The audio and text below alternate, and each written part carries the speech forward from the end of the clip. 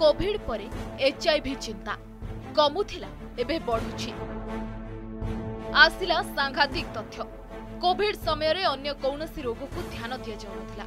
ଅନ୍ୟ କୌଣସି ସଂକ୍ରାମକ ରୋଗର ଟେଷ୍ଟିଂ ଟ୍ରାକିଂ ମଧ୍ୟ ହେଉନଥିଲା। ଯାହାଫଳରେ ଅନ୍ୟ ମାରାତ୍ମକ ରୋଗଗୁଡ଼ିକ ଅଧିକ ସଂକ୍ରମଣ ହେବାର ଆଶଙ୍କା ଥିଲା। ଏବେ ଏଚ୍ଆଇଭି ସଂକ୍ରମିତଙ୍କ ଦଶ ବର୍ଷର ତଥ୍ୟ ସାମ୍ନାକୁ ଆସିଛି। ଯାହା ଚିନ୍ତା ମଧ୍ୟ ବଢ଼ାଇଛି। ଦେଶରେ ଦଶ ବର୍ଷରେ ସତର ଲକ୍ଷ ଏଚ୍ଆଇଭି ସଂକ୍ରମିତ ଚିହ୍ନଟ ହୋଇଛନ୍ତି। ଆଉ ଏହାର କାରଣ ହେଉଛି ଅସୁରକ୍ଷିତ ଯୌନ ସମ୍ପର୍କ। ମଧ୍ୟପ୍ରଦେଶର ସାମାଜିକ କର୍ମୀ ଚନ୍ଦ୍ରଶେଖର ଗୌରଙ୍କ ଆର୍ଟିଆଇ ଆବେଦନ ପରେ ଜାତୀୟ ଏଡ୍ସ ନିରାକରଣ ସଂସ୍ଥା ପକ୍ଷରୁ ଏହି ତଥ୍ୟ ମିଳିଛି।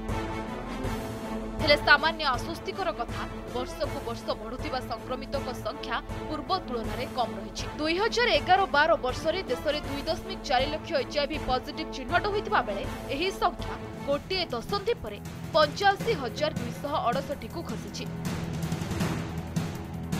ଦଶ ବର୍ଷ ମଧ୍ୟରେ ଆନ୍ଧ୍ରପ୍ରଦେଶରେ ସବୁଠାରୁ ଅଧିକ ତିନି ଲକ୍ଷ ଅଠର ହଜାର ଆଠଶହ ଚଉଦ ମାମଲା ଚିହ୍ନଟ ହୋଇଛନ୍ତି।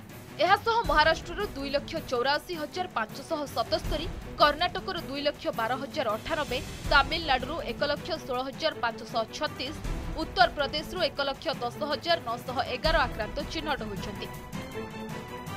ସଂକ୍ରମିତଙ୍କ ରକ୍ତ ସଂସ୍ପର୍ଶରେ ଆସି ପନ୍ଦର ହଜାର ସାତଶହ ବୟାଅଶୀ ଏବଂ ମାଠୁ ସଂକ୍ରମଣ ହୋଇ ଚାରି ହଜାର ଚାରିଶହ ତେଇଶ ଶିଶୁ ଏଚ୍ଆଇଭି ଭୂତାଣୁ ଦ୍ୱାରା ସଂକ୍ରମିତ ହୋଇଛନ୍ତି। ବର୍ତ୍ତମାନ ଦେଶରେ ତେଇଶ ଲକ୍ଷ ଅଠର ହଜାର ସାତଶହ ସଇଁତିରିଶ ଜଣ ଏଚ୍ଆଇଭି ସଂକ୍ରମିତ ଥିବାବେଳେ ଏଥିମଧ୍ୟରୁ ଏକାଅଶୀ ହଜାର ଚାରିଶହ ତିରିଶ ଜଣ ଶିଶୁ। ସେପଟେ କୋଭିଡ ସମୟରେ ଏଚ୍ଆଇଭି ଟେଷ୍ଟ ଉପରେ ଅଧିକ ଗୁରୁତ୍ୱ ଦିଆଯାଉନଥିଲା ଯାହାଫଳରେ ଏଚ୍ଆଇଭି ସଂକ୍ରମିତଙ୍କ ସଂଖ୍ୟା ବଢ଼ିବାର ଆଶଙ୍କା ରହିଛି।